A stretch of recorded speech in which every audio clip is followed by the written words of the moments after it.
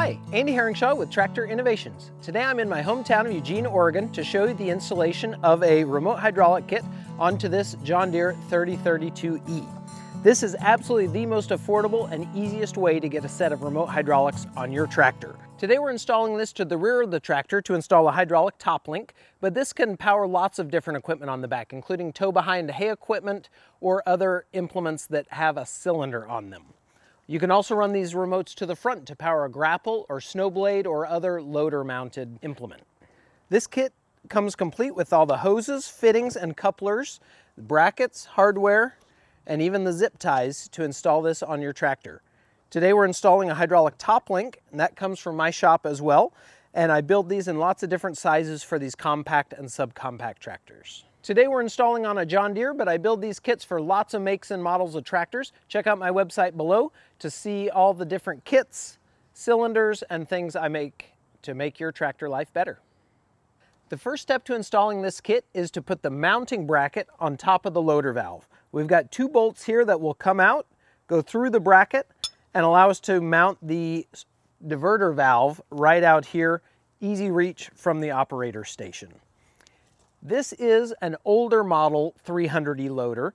If you've got a loader newer than 2023, you may have the fittings coming out the top and a different mounting for this valve.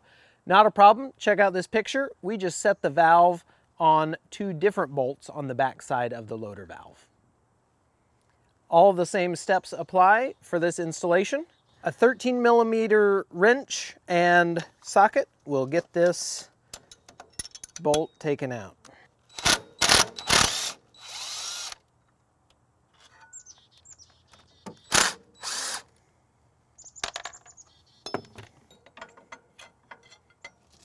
If you notice, the loader valve is still held, held in by one bolt, so you're not risking dropping anything here.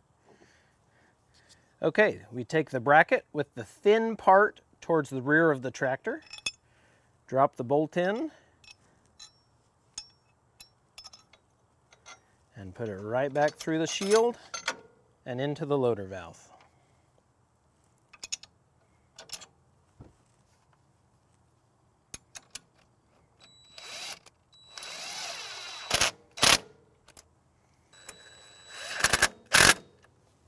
Now we can mount the diverter valve onto the bracket. I've got the valve mounting bag and a magnetic bowl.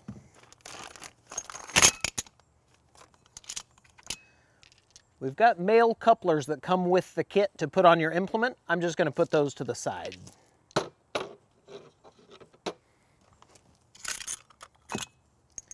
Take these bolts and put a washer on each of them. Now we're ready to slide those through the valve into the bracket. Hold the valve up with the hoses pointing forward and you'll just slide it onto the outside of that bracket.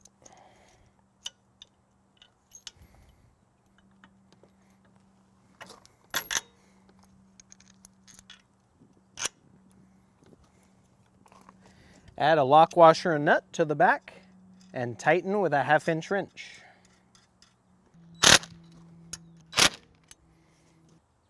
With the valve mounted, we can install the knob. Make sure your lock washer is on that knob and thread it into the piston.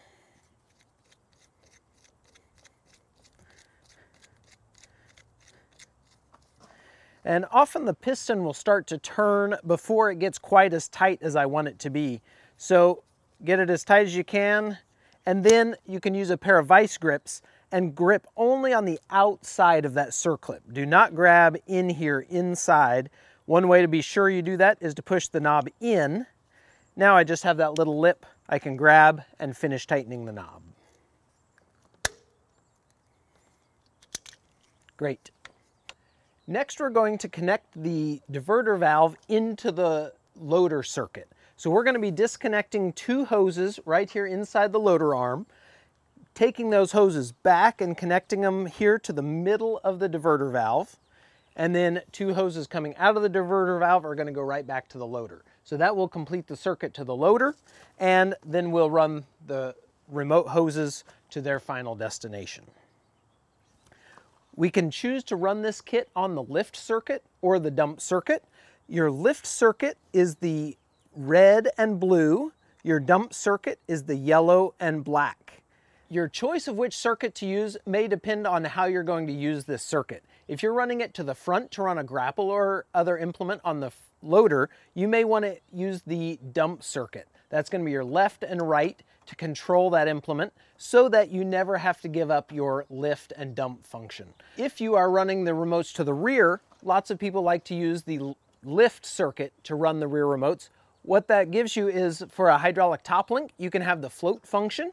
You can push this loader control lever all the way up and whatever you've got hooked up to the rear top link or other thing can drift. That cylinder isn't locked in place.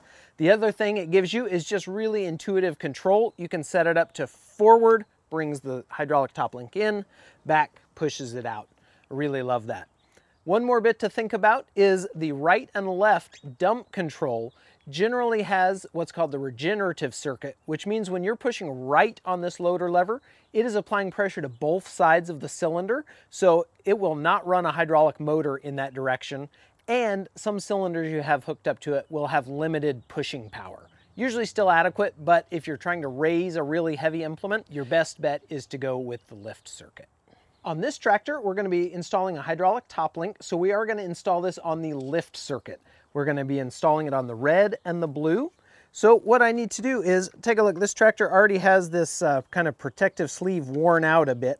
So we're just gonna roll it up and get a little more space to work here. You may have, to, on your tractor, you may have to cut a zip tie to uh, get a little more working room. We are gonna have to take these hoses and curl them back to connect here to the diverter valve. Before you disconnect anything in your loader circuit, take a minute and relieve all the pressure in your hydraulic system. So move that lever to all four positions, lower your three-point hitch. If you have an existing third function, turn the key on, hit the button each way, move everything several times to make sure there's no pressure in your system. Makes for a clean install and safe install. So I'm gonna disconnect these hoses. I'm gonna do just one at a time um, so that I don't get anything mixed up. The red is kind of forward of the blue. So when I come back here to the diverter valve, I'm gonna put red in front. That'll just help me keep everything straight.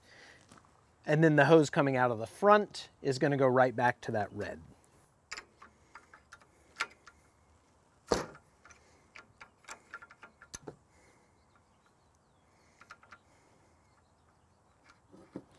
Things have gotten a little messy, so I'm going gloves on. We're gonna take this hose, it's the red that comes from the front fitting, so we're gonna bend it right around here and connect it to the front middle port of this diverter valve. And I've pulled back this sleeve protector. You could completely remove this hose from the sleeve protector, but I think it's gonna work well just pulled back like that.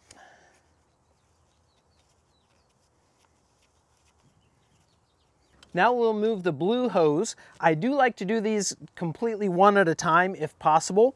Disconnect red, hook up the red, and then move to blue, but there's not enough room to get in here with the wrenches on the blue if the red hose is in place. So I'm gonna disconnect the blue with the red out of place.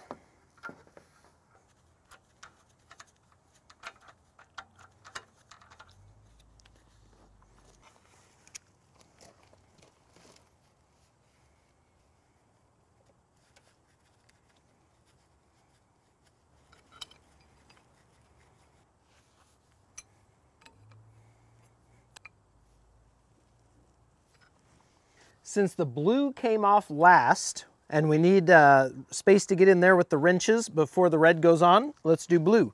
Blue is in the rear, so I'm gonna work this hose into place. Take your time here. You can get a really nice hose routing that looks really professional and clean.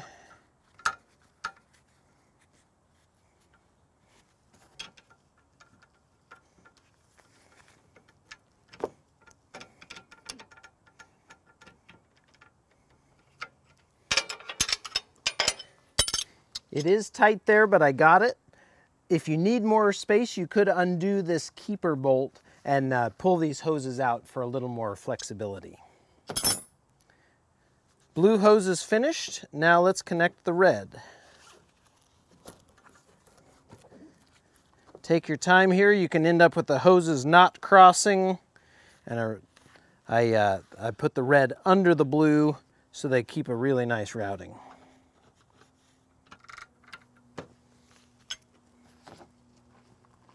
This diverter valve is now hooked into the loader circuit and we're ready to run the remotes to their final placement. The hoses are now plumbed into the loader circuit, so the diverter valve is ready to take fluid off your loader circuit and put it to the remotes. Now we just need to take the remotes and run them to their final location. If you're making front remotes, we can run them along the loader arm and to the crossbar and mount the remotes in the bracket right there. Let me show you a picture of what that looks like. But today we're running remotes to the rear of the tractor. So I've got the hoses here and they've got 90 degree fittings on the end that are left loose so that you can get the angles just like you want them. It has a note there that says tighten before use, but we're just gonna take those off for right now.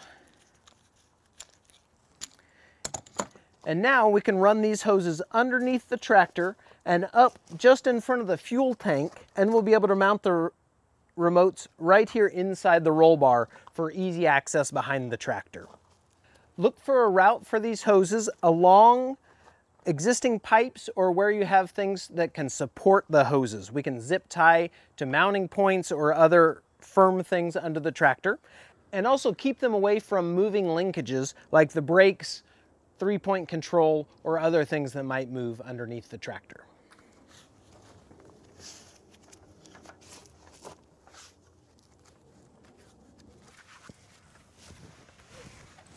Take your time here so your hoses don't end up twisted. You can get them all straight and lined out. Poke them up above the axle here, and then you'll be able to reach them from the operator station.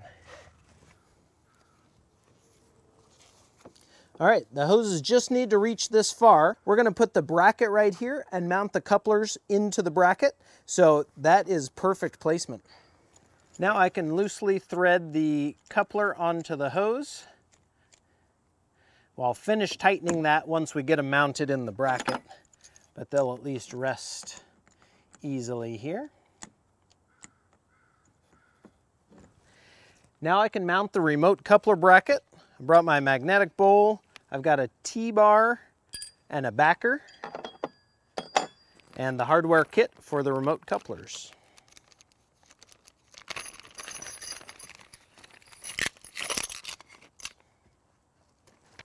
This T-bracket is going to mount just inside the roll bar and for those couplers to mount into. To do that, the backer has to sit on the outside of the roll bar. So I'm going to put the bolts through the backer so it looks good from the outside of the tractor. Slide those just under the tail light and the T-bar goes on the inside. Follow that up with a lock washer and nut on each bolt.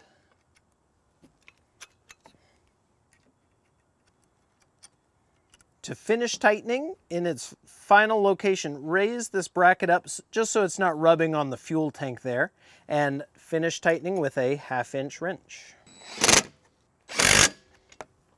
To mount the couplers into the bracket, we'll hold the coupler right up to the center there, use a U-bolt right over the middle of it and slide that U-bolt through the bracket.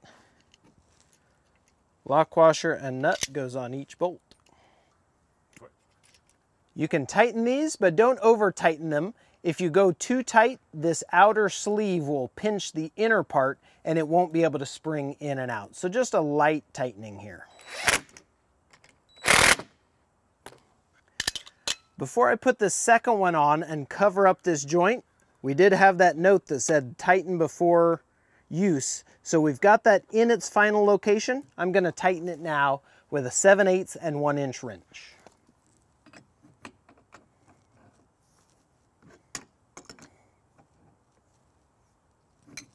Repeat those steps for the second coupler.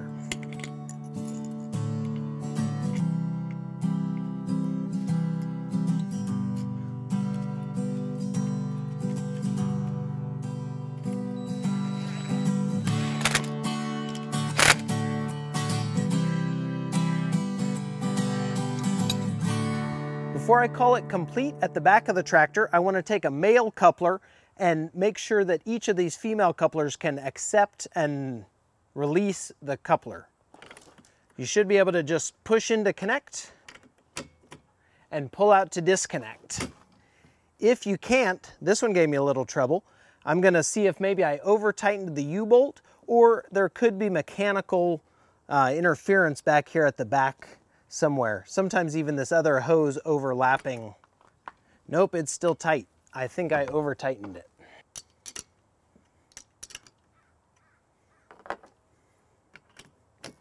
There we go. That's all it takes. So I can go ahead and plug in this hydraulic top link and I'm going to install it to my box blade and we'll give it a demo.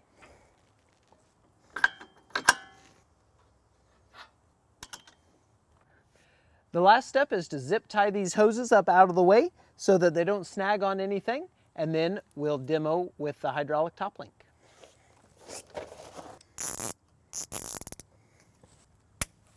Well, there you have it, the easiest and most affordable way to get a set of remote hydraulics on your tractor. With a simple push and pull of this knob, you can activate or deactivate the remote and switch from either having full loader function or controlling the remotes. Today we took them to the rear of the tractor to install this hydraulic top link, but this exact same kit could run remotes to the front of your tractor for a grapple, snowblade, or other front mounted implement. Today the install was on a John Deere, but I build this kit for lots of makes and models of tractors. Check out my website right here below to see all the different kits I make, including the hydraulic top link that I build for these compact and subcompact tractors. Thanks for watching. Stay tuned for a demo. Let me show you how this diverter valve kit works. With the knob pushed in, I've got completely normal loader function, lift and dump. Of course, it's only gonna go down right now because the engine is off. But when I pull out on the knob, now my lift function is locked out. I can still dump if I want to, right and left will still dump, but forward and back is gonna control the hydraulic top link. I'll start with the knob pushed in. I've got completely normal loader function. But when I'm ready to control the hydraulic top link, pull out on the knob, and now I've got full range of motion there and I can still dump. When I want full control of my loader back, I just push the knob in.